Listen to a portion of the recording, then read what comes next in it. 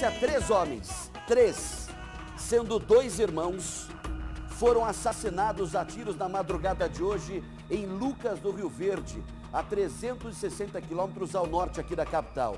A reportagem que você vai ver agora é da nossa querida colega Maria Augusta. Balan... Aqui estão as vítimas, ó. Dois deles irmãos e um terceiro que seria bastante amigo da dupla. Balança aqui. Três jovens foram assassinados na madrugada desta sexta-feira na Avenida Sergipe, em Lucas do Rio Verde. A chacina ocorreu em uma kitnet alugada, localizada em um condomínio residencial. Segundo informações da proprietária da residência, onde ocorreram os assassinatos, as vítimas alugaram a casa há dois meses. Vieram da Bahia tentar novas oportunidades aqui em Lucas do Rio Verde. Ela ainda afirma que a movimentação na kitnet era tranquila.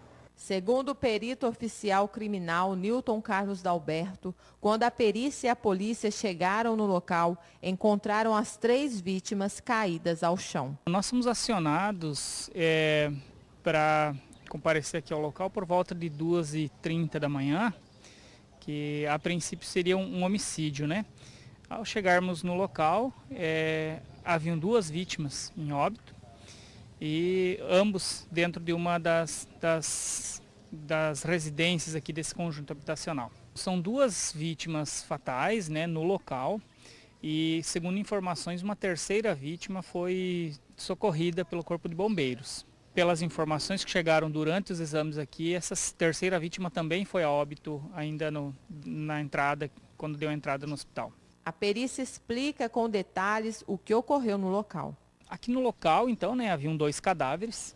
É, um deles estava na sala e o outro estava em um dos quartos.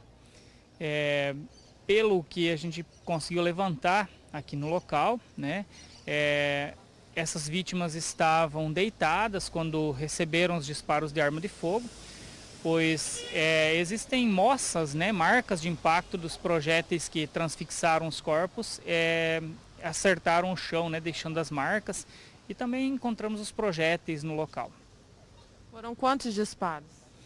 É, no mínimo oito, né? mas ah, precisa ainda estudar todos os vestígios, mas são no mínimo oito, é, podendo ser inclusive duas armas utilizadas no crime.